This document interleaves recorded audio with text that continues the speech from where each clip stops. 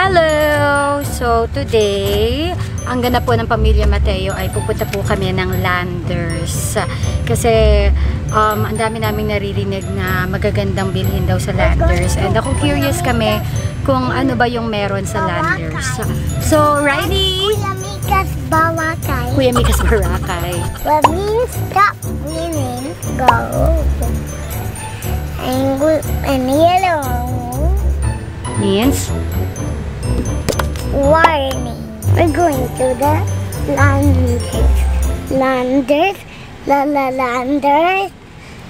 Like we mean the Landers. look, look, look. So, where are we now? the Landers. We're here! And ang daming tao, mga dudungog Inday. Bakit ko nasabing ang daming tao? Kasi ang daming nakapark na sasakyan. Tingnan mo yan. Grabe. So, let's go na. Baba na tayo. I have a hiccup. You have a hiccups? Let me hear it. One. Okay, let's go down. Let's go down. Daming sasakyan. Oh, daming nakapark.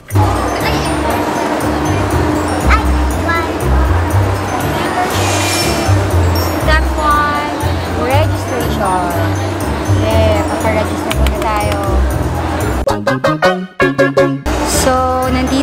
kami sa loob at nakapagpa-member na ako. Member na ako, ayan, member. At pag bagong member ka, meron silang libreng, ano to, ah, insulated reusable cooler. Ayan. So, mamimili na kami. Eto na. Nandito pa lang kami sa bungad. Meron na kaming mabibili. Hot, hot condition everything. Yung carton lang, meron Let's pa go! Grabe, ang daming tao dito sa Landers. Parang kailangan mong mag-alat ng oras talaga dito pag dito ka mamimili. Sobrang daming tao. O baka mali kami ng punta kasi Sunday ngayon, kaya ganun. Baka nga. Uy, ang ganda ng upuan, oh. Wala. Ganda nito, oh.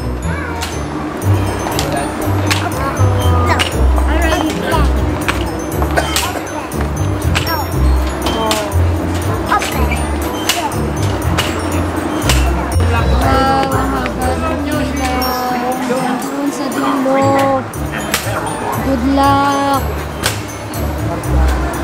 Ate Bing. Ang haba pila. Oh. So kanina, nandun tayo sa area na yon. Ang haba ng pila. Akala ko hanggang doon na sa dulo. Hanggang dito pala. Grabe, dito po ang simula ng pila. From there. Ha!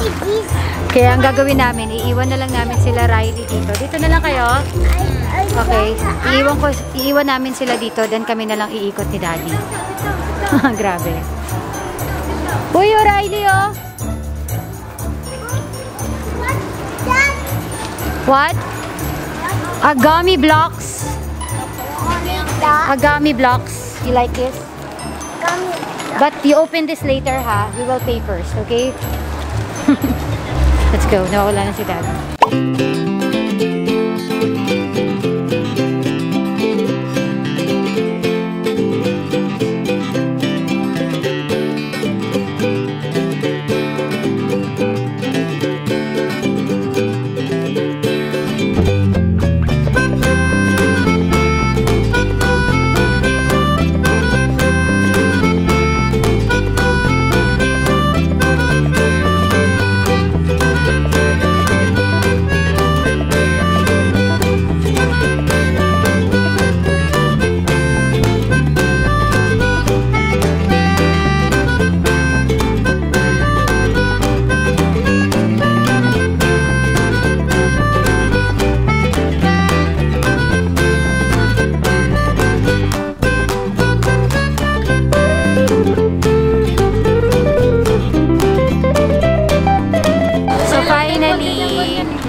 Buy one take one din yun, Daddy.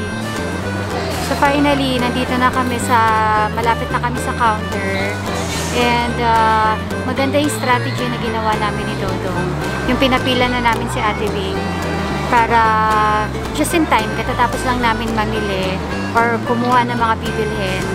And um, Are you tired? magbabayad na kami. Hi. What? Ano masasabi mo?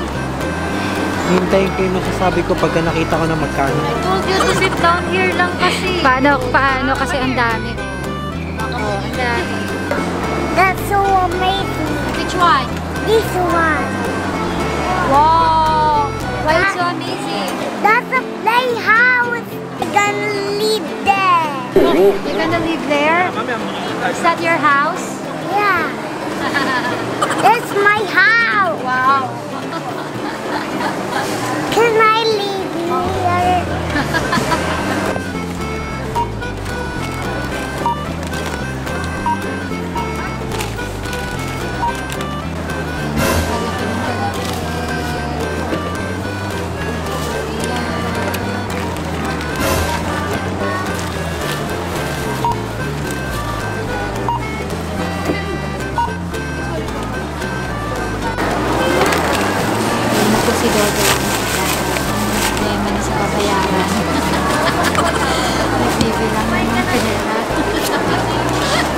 Ito ate.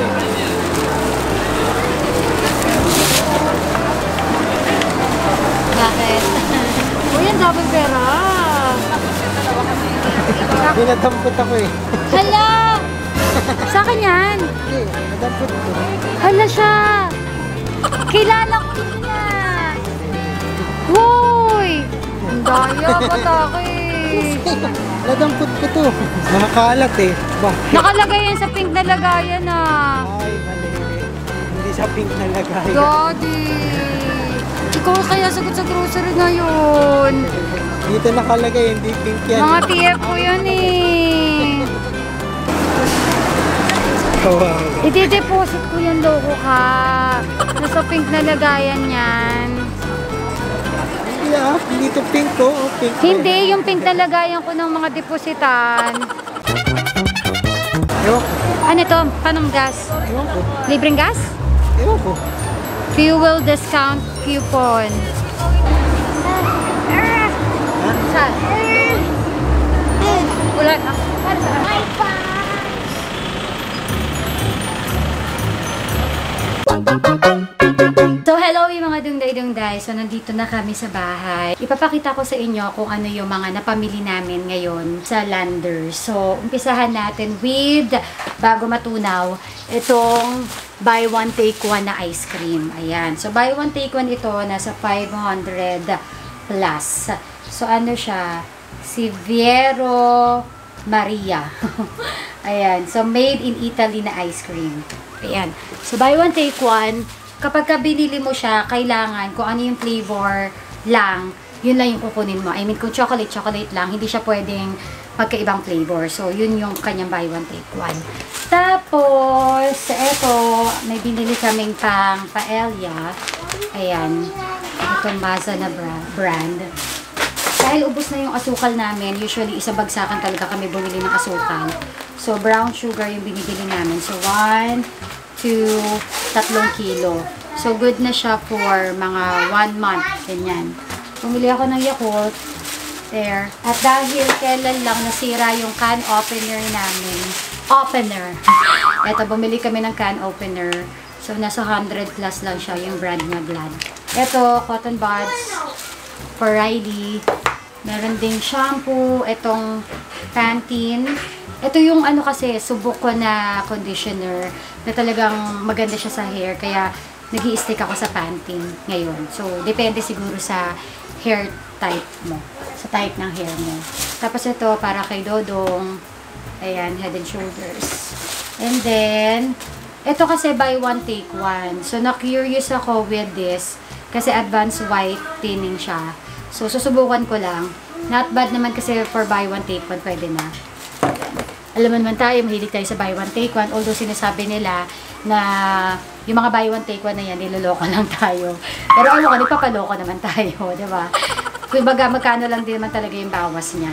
Tapos kasi ako, pagka-stress ako, um, dinadat na talaga ako ng dandruff. At yung dandruff na yun talagang madikit sa anit ko. Kung hindi ako nagnanizeral, um, naghahanap ako ng shampoo na medyo mild lang. Pero ito kasi nakita ko to Neutrogena. So, gusto ko siyang subukan. Tatry ko lang, baka effective, ba? So, para sa mga dandruff, dandruff na pasaway.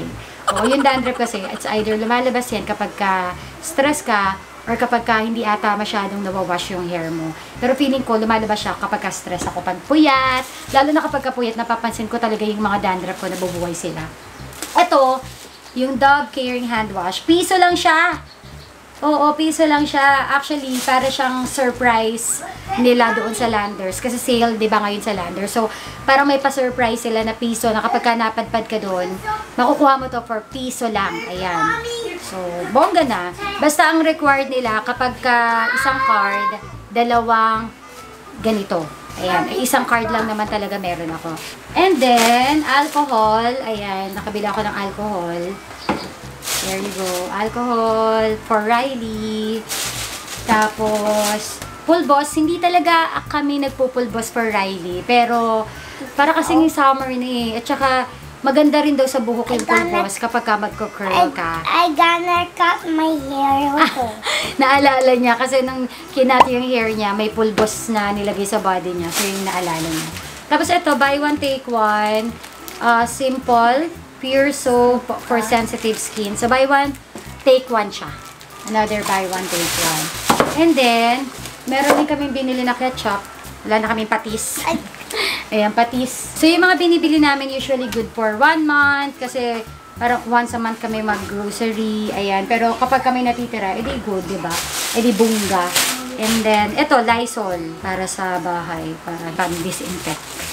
Ito, pang, um, para sa mga labahin, para maging mabango. 'di ba? Para smells good. Kala mo naman nakakaamoy ako, 'di ba? Si Ate Bing ang may request na hindi ako. Ayan. So ito, Clorox. Ang Clorox, ang usual na binibili namin Sonrox. Pero wala kaming nakita na Sonrox dun sa Landers. Or hindi ko lang alam ko baka nasa ibang pwesto siya. Pero dahil wala na akong choice, Clorox na lang muna yung binili namin. Meron din ito sa mga SM eh. Ready to eat. Peeled pomelo. pomelo. Tapos, ito pala, ito yung libre kanina. Oo. So, ang kapal niya, ang ganda niya, in fairness. Yung pa-member pala sa Lander, 600 pesos. Kapag ka magpapa-extension ka ng card, for example, asawa mo, or kung sino man, additional 400 pesos. Kung halimbawa dalawang card yung i-avail ninyo, uh, total siya ng 1,000 pesos. Tapos, ito lang, pang snacks-snacks kapag ka mag-movie marathon. Ayan, dyan ka. Hinahanap ko yung Vienna talaga na brand eh, yung kilala nating Vienna. Pero baka ito rin yun. Although iba yung nakalagay, Armor. Pero try natin, subukan natin. Sabi naman kasi, Vienna Sausage Original. Alam mo, favorite ni Riley. Kaya bumili ako. Tapos ito, gummy blocks. Actually, hindi pa po kumakain talaga si Riley ng mga gummy-gummy na food. Pero, um, na-curious ako dun sa blocks eh. Oo, tsaka, tatry ko, i-introduce ko siya, pero fit lang. Ayan, sumura lang naman siya para kay Riley. Eto, meron din ako biniling Jolly Mushrooms. So, bumili kami ng orange. Orange juice. Meron din dito Star Margarine. Alam mo, kapag ka nakakakita ko ng Star Margarine, bumabalik yung parang pagkabata ko. Oo, kasi parang mas uso, mas uso siya nung araw eh, yung Star Margarine. And then, ito, pang breakfast, breakfast, or merienda, merienda, hash brown. At least hindi na kami pupunta ng McDo para mag-hash brown. Meron na dito sa bahay. And, pang breakfast pa rin, Hungarian sausage. Social, may Hungarian. Magkano lang namin ito nabili? Mga, sa, mga nasa 200 plus lang. Oo. So, pwede namang sa breakfast mo, isa lang kinabukasan isa uli. Parang i-chop-chop mo lang siya. Favorite ni Riley, hot dog! Ayan. So, may cheese. Cheese flavor. Yes, hot dog! You like hot dog? you like hot dog? Ito, meron din kaming pansit canton. Ayan. Pansit canton. There. Hilig kami sa pansit canton. Pang merienda, partner sa tinapay. Tapos, ito, pag magpaparay kami, paparay, ito yung ginagamit namin. Kasi malasa na siya. Crispy fry. There. And then, ito, bumili ako ng apat na piraso ng full cream milk. Ayan. Actually, hindi ako nag stick sa isang brand. Kasi nagsusubok talaga ako ng kung ano yung mas masarap. Although nasubukan ko na yung Magnolia, may Nestle, may Selecta. Eto, na-curious na naman ako kung anong lasa niya. Lemnos. Plus, ito lang kasi yung nakita kong full cream milk na available dun sa Landers kasi yung iba puro fresh milk. So, susubukan ko siya. Mga nasa 73 pesos ito. Sabi nila, maganda daw kasi yung full cream milk. So, maganda siya ah, inumin. So, uh, nagtitake ako nito every morning. Good for the skin. And, uh, yun, maganda siya. And then, meron din si Riley Boo chocolates. Ito naman yung kapag ka, ano, tinatawag namin cheat day. Hindi naman siya araw-araw umiinom nito. Pag halimbawa lang na um, gusto namin maglambing or gusto namin mag-enjoy naman siya with chocolate. So, yan, pinapainom namin siya nito. Pero again, hindi naman everyday. Usually once a week, twice a week, ganun. Ito, bumili rin kami ng nuggets, chicken nuggets. Oo. Ito yung favorite ko sa McDo, eh, chicken nuggets. So, magta-try lang kami ah, dito sa bahay. Tapos, meron na siyang barbecue sauce. Tapos, merong mayonnaise. Sarap nito, mayonnaise. So, may bote na kasi kami dito. I-refill na lang namin siya. Tapos, meron ding palaman, ang pambansang palaman, cheese whiz. meron ding, ito pang breakfast namin, corned beef. Oo. So, marami siya, apat siya kasi nga, ah, good siya for one month. Kumbaga, hindi naman kami everyday nagko-corned beef. Tapos, ito, luncheon meat. Ayan. So, dalawa din. Oo, salit-salitan. Minsan hotdog, itlog, kung anong pang breakfast. Ang masarap na Pringles! Ang sarap nito! Italian style na pang spaghetti. Although hindi naman kami lagi nag spaghetti baka lang nagkikrave si Dodong mag-spaghetti. Tatry lang namin. Although hindi pa ako marunong mag-spaghetti. Mag-ano nga tayo, mag magturuan tayo ng spaghetti dito next time. Magturuan. Oo. Mag ano, tuturuan ko kayo. Wow, tuturuan ko kayo. Ako pa talaga. And magic sarap. So, yan lang. Yan lang yung napamili po namin. And uh, medyo ang mahal po ng inabot ng aming grocery this time dahil sa mga bonus na for example yung buy one take one na ice cream dahil sa binili ko na pang dandruff, yung mga extra-extra. Although kami, pagka nag-grocery kami, meron talaga kaming listahan. So, there you have it. At uh, maraming salamat po for watching. And again, please subscribe sa aking YouTube channel, Colin's World. And comment down below kung ano pa yung mga gusto nyong i-haul next time. So, sige na. Magpapahinga na muna kami. And bye-bye for now. Paano ka, Kobe? Bye-bye.